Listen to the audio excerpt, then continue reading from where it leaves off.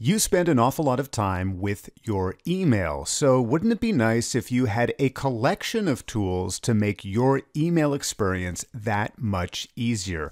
Well, in today's video, we're taking a look at an extension that doesn't just do one thing or two things, it has a whole mix of cool tools to help make your life so much easier.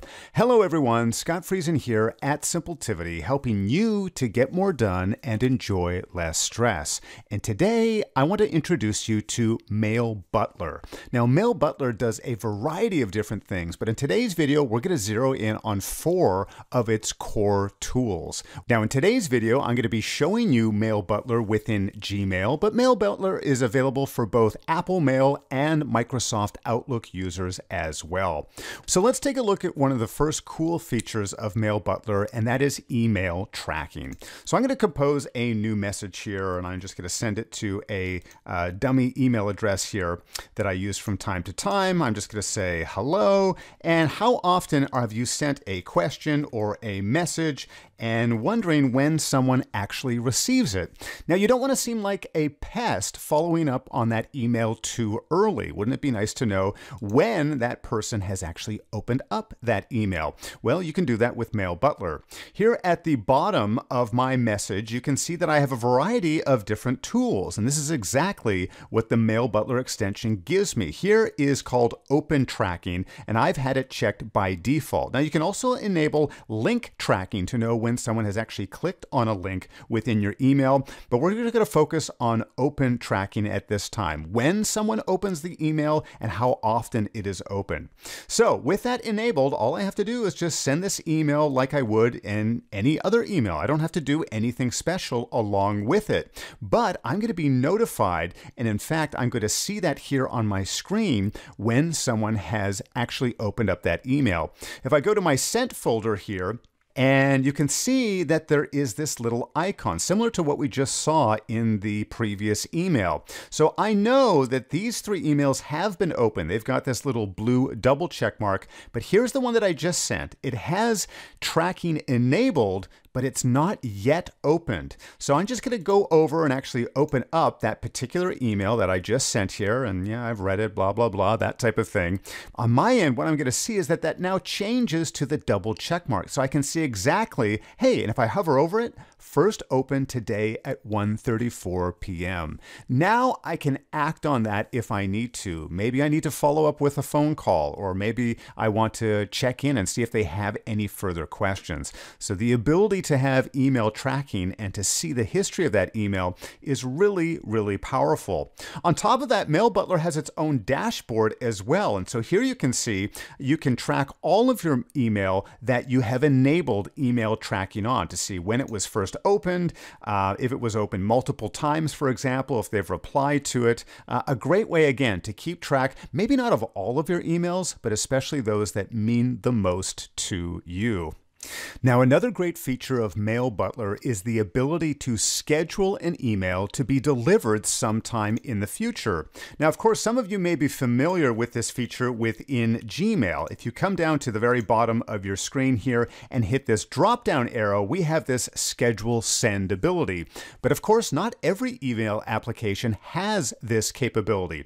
Here we see that there's a schedule send. This is the Mailbutler version. And this is what's special about this. Yes, I can choose on my own what I would when I would like to send this message. Maybe I want to send it tomorrow and I can choose, you know, anytime I want. Maybe I wanted to send it tomorrow afternoon at 2 p.m.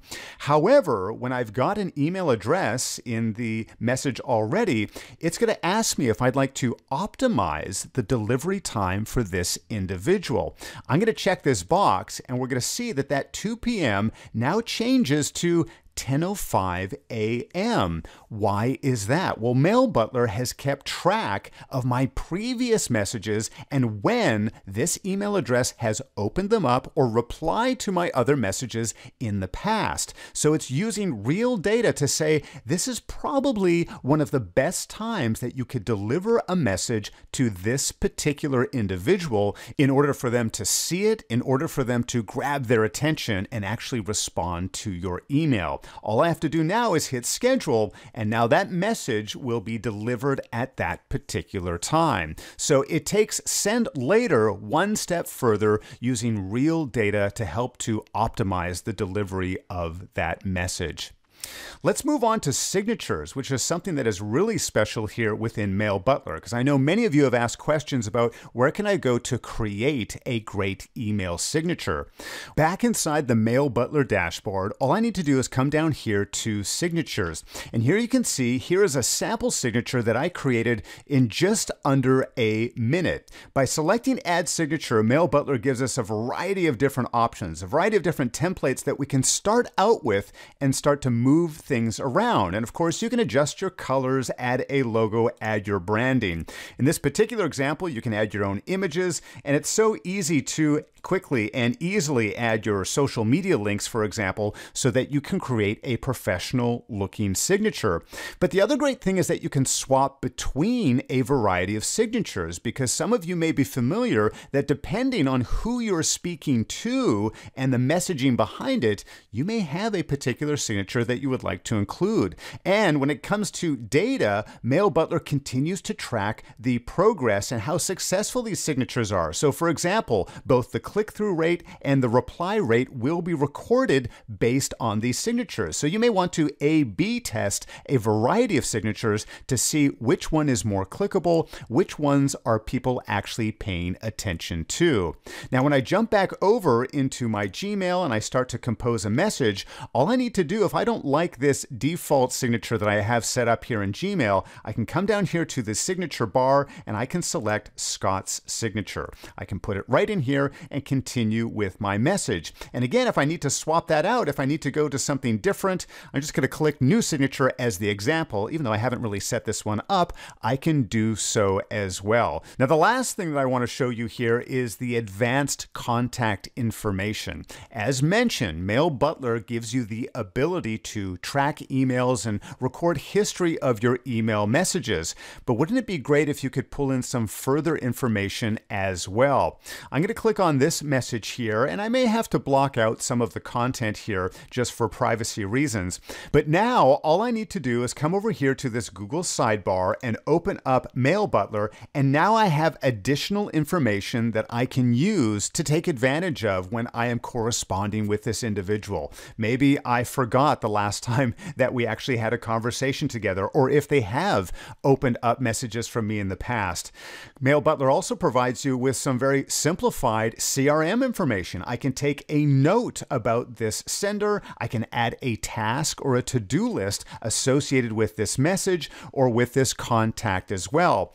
So, whether you're wanting to track your emails, whether you want to schedule an optimal time to deliver those emails, manage your contacts, or create a professional signature, MailButler has something for you. Be sure to check them out at mailbutler.io. Thank you so much for watching today's video, and if you have any questions, be sure to leave them for me in the comments down below. Remember, being productive does not need to be difficult. In fact, it's very simple.